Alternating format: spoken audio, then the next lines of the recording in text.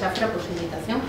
Estoy aquí encantada, eh, me parece importantísimo poder colaborar en un curso de esta relevancia con un problema de tanta relevancia social como es la violencia eh, también me gustaría dar las gracias a todos los que estáis aquí, a todas las personas que nos acompañan en esta mañana. Muchas gracias por estar aquí, por poder contar con vuestra presencia. Es interesante bueno, pues poder saber hay personas que tienen interés por, conocer y por eh, solucionar y poner algo de su parte para poder eh, ayudar a eh, prevenir y solucionar el tema. Bueno, comenzamos con la mesa redonda, violencia de género, un tema de salud pública, que es la primera de las mesas redondas que tiene lugar dentro del curso Acciones Preventivas de Violencia de Género, desde las políticas públicas a la acción ciudadana. Mi nombre es Ana García León, no me he presentado todavía, y yo voy a ser la moderadora de, eh, eh, esta mesa redonda.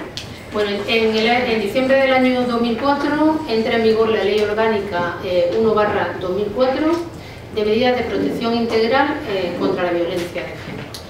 Esta ley, que pretende, atendiendo a recomendaciones internacionales, dar una respuesta integral a la violencia de género, en este énfasis por dar esta respuesta integral, pues pretende abarcar una serie de ámbitos que hasta entonces no habían sido objeto de, medidas.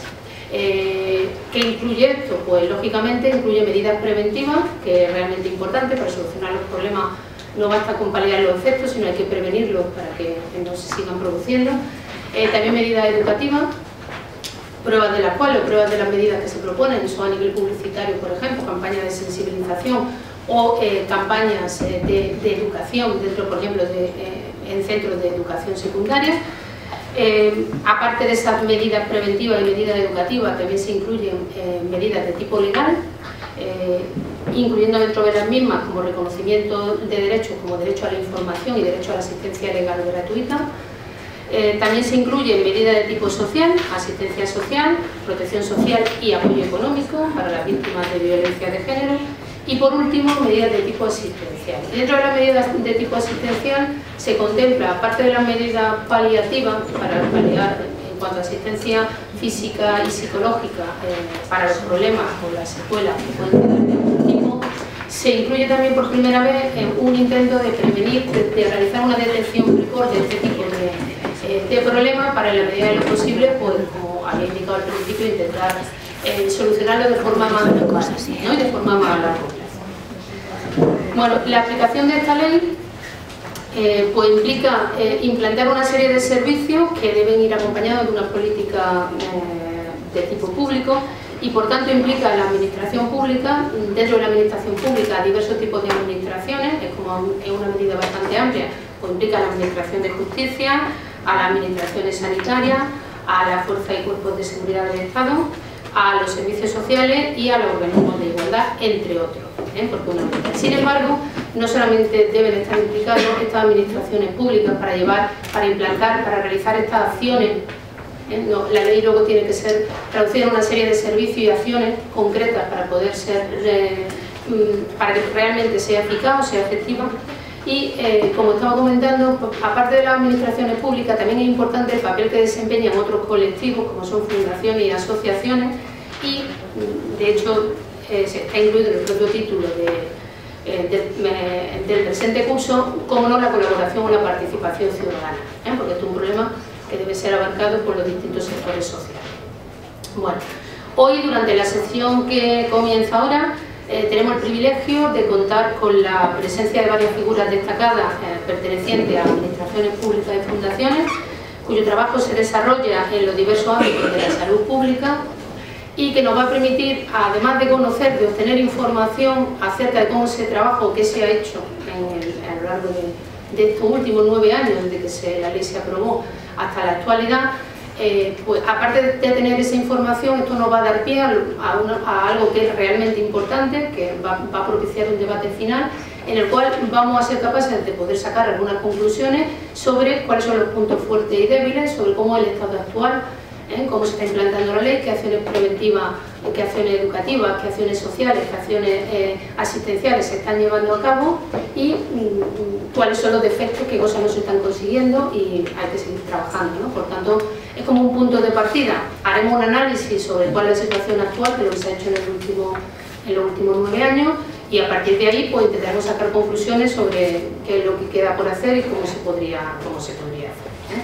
Bueno, sin eh, extenderme excesivamente porque creo que es mucho más relevante lo que ellos tienen que aportar, pues eh, va a intervenir en primer lugar doña María Ángeles Merino, que está situada aquí a mi izquierda, que es licenciada en Psicología y diplomada en Trabajo Social y especialista en drogodependencia, SIDA y prevención y atención en violencia de género. Trabaja en un ámbito mm, totalmente asistencial y además también eh, eh, realiza actividades de formación ¿eh? para sensibilizar y para formar y educar a los colectivos que tienen que enfrentarse con, estas víctimas de, violencia género. tiene, también dentro de las actividades, bueno, dentro de la persona eh, en la que destaca que, ha formado realmente, pues a médico residente y de hecho su, eh, digamos que su, trabajo queda de manifiesto en varias publicaciones sobre el tema que, bueno, imagino que están interesados pues podrán pedirte la directamente. Sin más preámbulos, pues le doy la palabra a María Ángeles. Pues, hola.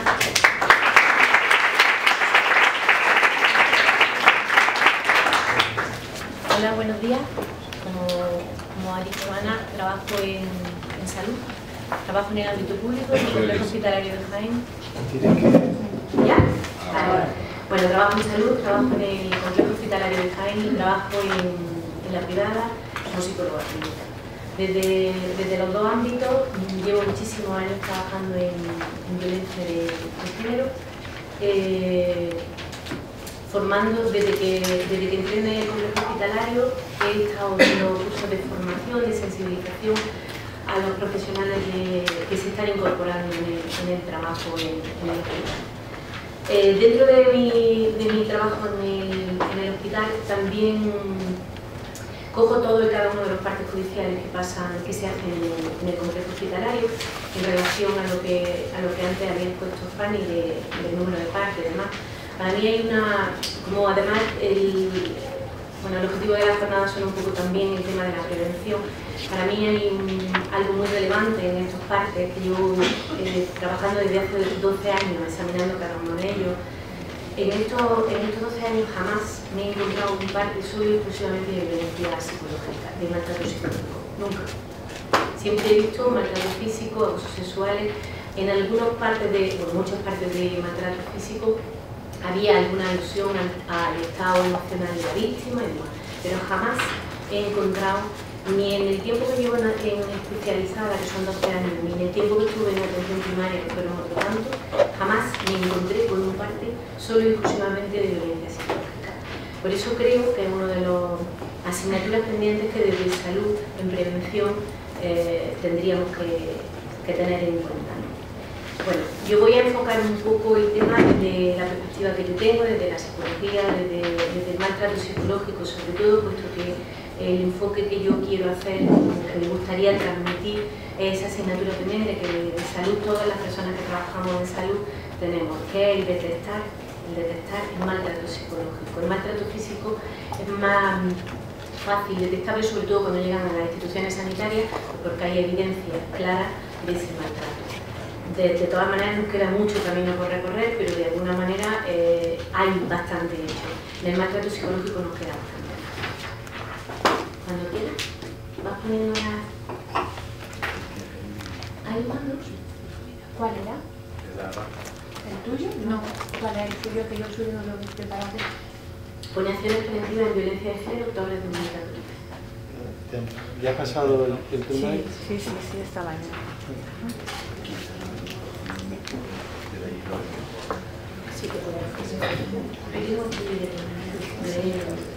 Es que no, no estaba, lo habían apagado.